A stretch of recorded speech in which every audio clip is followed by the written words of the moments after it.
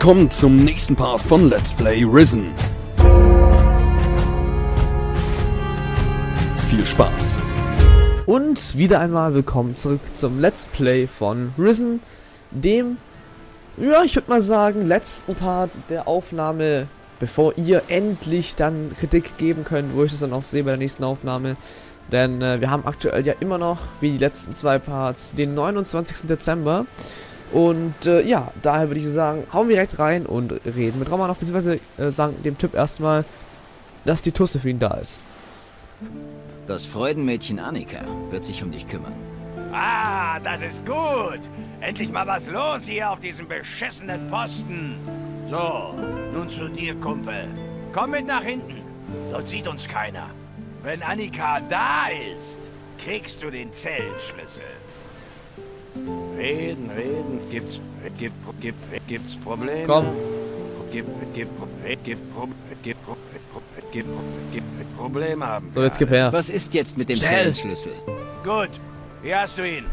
Aber wenn ich wegen dir Ärger kriege, wirst du das bereuen. Schon klar. Annika tanzt da hinten schon rum, weißt du, ohne dass er irgendwie da ist. Äh, ja, Hammer. Egal, äh, wir haben den Zellenschlüssel. Theoretisch könnten wir den jetzt verkaufen, aber... Ne, können wir eigentlich gar nicht, aber wäre irgendwie cool. Äh, deswegen öffnen wir einfach jetzt mal ganz frech die Tür, machen ein nettes F8-chen. Ja, und... Wollen wir, können wir uns eigentlich da hinsetzen und auch mit Romanov reden, oder müssen wir da... Ne, wir müssen dazu aufstehen. Okay. Wie kann ich jetzt eigentlich wieder aufstehen? Ah, okay.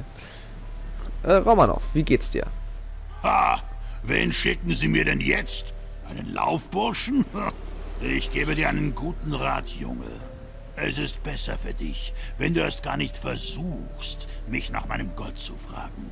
Du bist Pirat? Du bist Pirat. Mein Name ist Ivan Michail Nikolai Igor Romanov.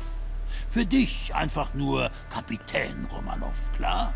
Ich bin mir sicher, du hast schon von mir gehört. Viele Geschichten werden über mich erzählt. Viele finstere Geschichten. Und glaub mir, egal was du gehört hast, sie sind alle gelogen. Okay, aber, ähm, Heißt das, du bist kein Pirat? Das heißt, dass die Maulhelden da draußen keinen Schimmer davon haben, was ich wirklich getan habe, Junge. Romanov ist ein Mörder, sagen sie. Er ist ein Verbrecher. Er ist ein Dieb, sagen sie. Ha! Sollen sie alle im Vulkanfeuer schmoren. Ich habe ganze Städte vor heranrollenden Armeen beschützt. Ich habe den heiligen Tuk des Harlan aus dem Palast von Kroatien befreit. Ich habe einen Rottwurm getötet. Mit meinen bloßen Händen.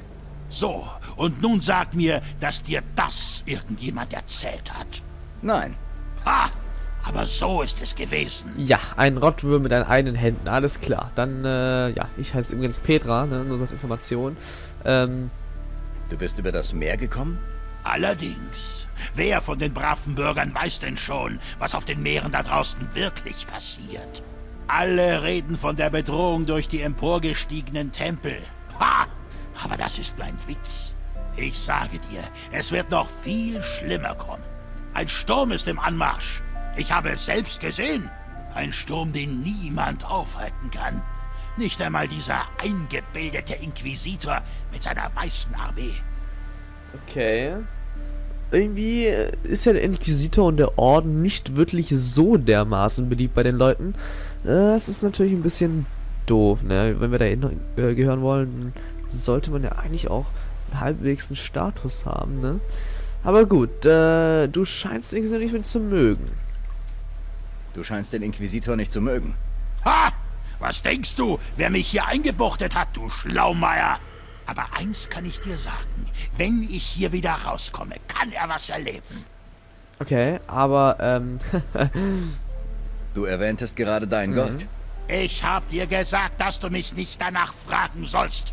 Ja, richtig. Ich erinnere mich. Dann halte dich daran. Sonst wird es dir schlechter gehen. sonst wird es dir schlechter gehen. Was will der Typ tun, Alter? Okay, ähm, Wie lange sitzt du hier schon? Einige Tage. Die Schweine wollen mich weichkochen. Ha! Da können sie lange warten. Ich werde ihnen niemals verraten, wo ich mein Gold versteckt habe. Ha, ha, ha! ja, hammerste Lache auf jeden Fall. Ähm, Die Tür ist offen. Du bist frei.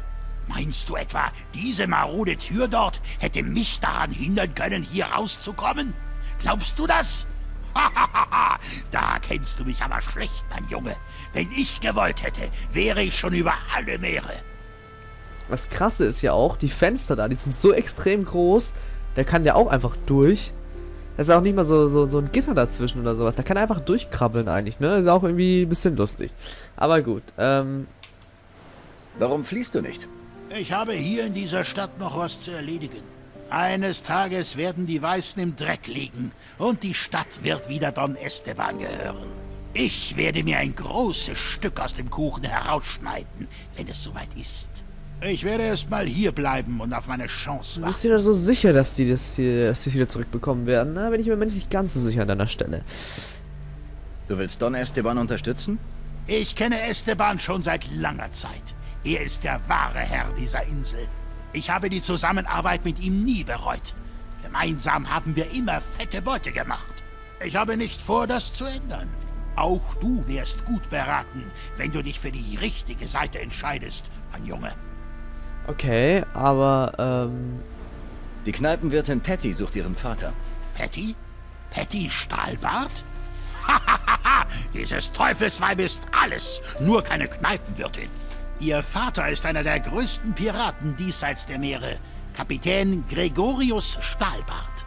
Dieser Hund hat mir nicht nur einmal das Leben zur Hölle gemacht, das kann ich dir flüstern.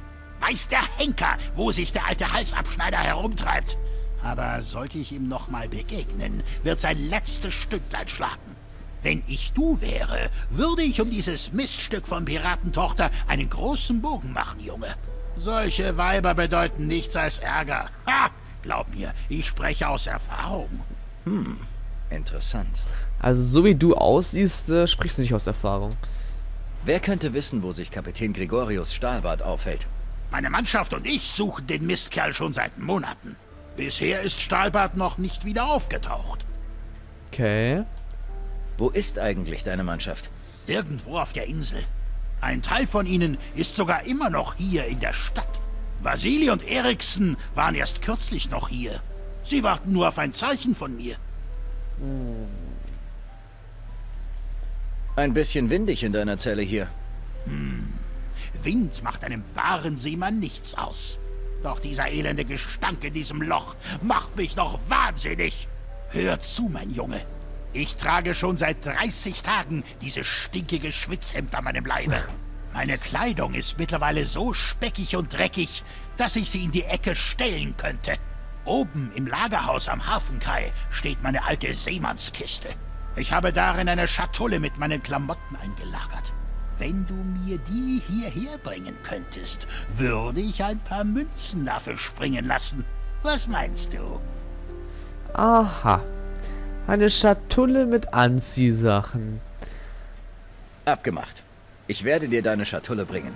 Braver Junge. Hier hast du den Schlüssel zu meiner Seemannskiste. Sie steht im obersten Stockwerk des Lagerhauses am Hafenkai. Ist nicht leicht zu erreichen, aber ein schlauer Kerl wie du wird sie schon finden, was? Aber beeil dich! Und vor allem komm sofort wieder zu mir und lass niemanden an meine Schatulle, klar? Sind wohl recht wertvoll, die Hemden in deiner Schatulle, was?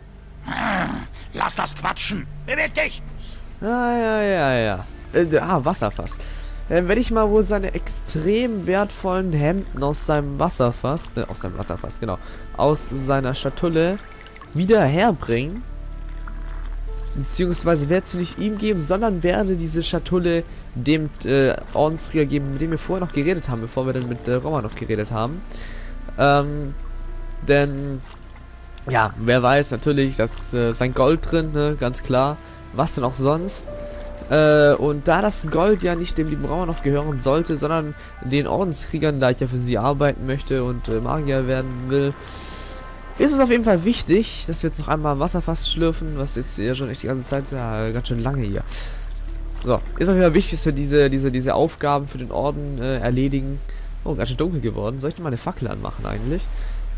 Ich finde, Fackeln sehen echt hammergeil aus im Game. Hihi. So, alles klar. Wir haben eine Fackel gezündet. So. So. Hui. Ich sogar wieder mit der Fackel springt. Hui. Hui. Hui. Okay, ähm, ja, wir müssen jetzt ins Lager raus und zwar müssen wir hier oben rein. Ähm, wie wir da reinkommen, das zeige ich euch jetzt. Und zwar werden wir als erstes einfach mal hier außen rumlaufen. Und werden ganz frech hier reinlaufen. Dann rennt uns der Typ nämlich hinterher. Ja. Weg mit dir! Ganz kurz die Kampfmusik gehört, ich weiß. So, und jetzt gehen wir einfach eiskalt hier rein. Ja, und plündern Romanovs Truhe. So einfach ist das. Eigentlich, möchte man meinen. Äh, da war auch dann die Schatulle drin. Ich würde sagen, wir plündern einfach die anderen Truhen auch noch. Einfach nur, weil wir es können. Äh, und weil wir gerade noch Zeit dazu haben. Wisst ihr Bescheid? Ähm, den Schrank nehmen wir auch noch mit. Wir müssen uns jetzt, glaube ich, beeilen, weil der andere, äh, weil der eine Typ da, glaube ich, jetzt gleich hochkommt. Kommt der hoch? Ich weiß es gar nicht. Auf jeden Fall glaube ich, dass er hochkommt. Bin mir nicht ganz sicher. Denn die Kampfmusik hat er auch schon angeschlagen. So. Typen wie dich will ich hier nie wieder sehen! Ja, halt die Backen. So, und da wir eh schon hier oben sind, können wir auch gleich das Easter Egg äh, holen. Das, na, was heißt Easter Egg? Ist es ein Easter Egg? Ich weiß gar nicht. Auf jeden Fall findet man hier Gold und ein bisschen anderes nützliches Zeugs, was man, naja, ganz gut gebrauchen kann, so als Krieger. So, F8. Und jetzt muss ich erstmal gucken, wie wir denn hier runterkommen. Wir müssen ein bisschen weiter hier rüber. So. Alles klar. Hier schön draufspringen. Und hier rein. Das sind so ein paar trickige, trickies, äh, Trickies. Hier steht was über Artefakte. Ah, Interessant. okay. Da steht eine Warnung vor ruhelosen Gebeinen in einigen Sarkophagen. Hm, interessant. Und das sind Sarkophage. Früher, als ich das Spiel angefangen habe zu spielen, ähm, habe ich immer gelesen Sarkiophag und habe dann auch Sarkiophag gesagt, äh, obwohl es Sarkophag. Oh mein Gott, ich habe das Ding weggeworfen. Äh, obwohl es Sarkophag heißt. Äh, Hammer. Und der ist übrigens so stark, der kann so eine ganze Steinplatte einfach mit einer Hand kurz wegschieben und das Zeug rausholen, was hier drin ist. Und zwar so ein kleiner Band. Weißt du, dann schiebt es auch extra noch zurück, weißt du, statt es einfach, statt es einfach offen lässt, weißt du, hier kommt doch eh kein Schwein rein. Und vor allem, weil so ein riesiger Steinhaufen hier an Sarkophag irgendwo auf so einem billigen äh, Holz, äh, Holzuntergrund äh, irgendwie steht. Also nicht, dass es irgendwie gleich runterfallen könnte oder sowas. Nein, es hält natürlich. Ach Leute, haben wir schon gelootet? Okay. ah, tut mir leid. Ähm, hierfür Vom Schlösserknacken verstehe ich. brauchen wir das Talent Schlösser knacken. Und davon versteht ihr nichts, wie ihr gerade mitbekommen habt. Äh, jetzt trotzdem noch, äh, noch mal die F8 vergewaltigen. Und werde hier runtergehen. So, wir kommen jetzt hier eigentlich am besten runter. So, und dann so rüberspringen. Und dann hier rüber und dann dorthin und dann haben wir keinen Nebenverbrauch. So, hey Okos. Äh, mit dem möchte ich jetzt eigentlich nicht reden. Ich möchte einfach jetzt zurückgehen. Und, na, die Truhe verpetzen. Also nicht die Truhe verpetzen, sondern dem Typ da sagen, dass wir die Truhe haben. Hallo. Ähm, ja. Hallo, dö, dö, Freunde. Dö, dö. Hallo. Dö, dö, dö, dö, dö, dö. Ähm, Ich fand diese Schatulle hier. Romanov steht drauf. Potzblitz! Weißt du, was du mir da gerade gegeben hast? In dieser Schatulle ist das Gold des Don an Romanov. Ach was, wäre ich ja nie drauf gekommen. Großartig! Du hast es tatsächlich geschafft. Reife Leistung. Kommandant Carlos wird sich immens darüber freuen. Hier, das soll deine Belohnung sein. Aber gib nicht alles auf einmal aus. Danke. wow, 100 Gold. Habe ich aber die Einbrüche mehr bekommen. So wird die schon in der Schatulle dann doch nicht zu sein, oder? Naja, wir werden erstmal zu Romanov gehen und mal gucken, was er dazu zu sagen hat. Dass wir ihm sein Gold aus den Händen geschlagen haben. So schön provozierend hingehen und sagen, dass wir es waren, die sein Gold weggebracht haben. Hä? Ah, lol, der schläft. Muss das jetzt sein? Oh ja. Wo warst du so lange? Wo ist meine Schatulle? So lange, Alter. Keine Ahnung. Keine Ahnung. Was? Du lügst doch. Das sehe ich dir an. Glaub, was du willst. Ich warne dich, Bursche. Wenn du mich verarscht hast, werde ich das rauskriegen. Geh mir aus den Augen. Ich kann dich nicht mehr sehen. Ich warne dich, Bürschchen. Wenn du so eine Schweinerei nochmal mit mir versuchst, war es dein letzter Fehler, klar? Lass mich, lass mich schlafen. Hm. Nee, ich habe eigentlich gedacht, ich kann ihn so ein bisschen unter die Nase reiben. War da ist er gleich so beleidigt gewesen, der Alte. kann passieren, ne? Ist halt so, wenn man keinen Spaß versteht. so eine alte Spaßbremse. Versager, Nerver, Säge, Dingensenser, Penis. So. Alles klar, da wir gerade schon im Lagerhaus waren, wird der heutige Screenshot, das heutige Thumbnail über das Lagerhaus handeln. Na, es ist eigentlich doof, oder? Wenn ich hier vom Lagerhaus so ein, so ein, so ein Dingens hier mache, oder? Ist eigentlich schon ein bisschen doof, oder? Hm, nam, nam. Nam, nam, nam. Ich werde einfach folgendes machen. Und zwar werde ich einfach jetzt von dem hier jetzt. Also, äh, so von dem hier. So, fertig aus Ende. War einfach so. Äh, und jetzt würde ich mal sagen, gehen wir nämlich mal zurück.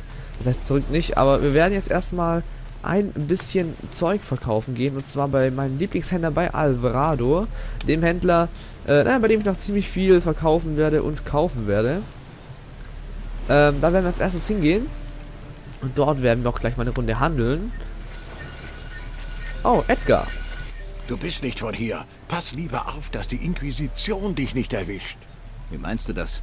Ich meine, du solltest aufpassen, wem du hier auf die Füße trittst. Okay. Sonst liegst du am Boden und weißt nicht mal warum. Ähm. Was muss ich über die Stadt wissen? Es gibt Orte, an denen du nichts zu suchen hast. Zum Beispiel das Lagerhaus am Hafen. Wirst du da erwischt oder versuchst du was zu klauen, kriegst du Ärger. Und wie sieht der aus? Unser Rechtssystem ist einfach, aber effektiv. Wir hauen dir aufs Maul. Auch wenn du Bürger verprügelst oder unser Vieh schlachtest, hauen wir dir aufs Maul. Und falls du mal jemanden umbringst. Haut ihr mir aufs Maul? Genau. Und anschließend bringen wir dich um. Na, hammerfette Sache. Was muss ich noch wissen?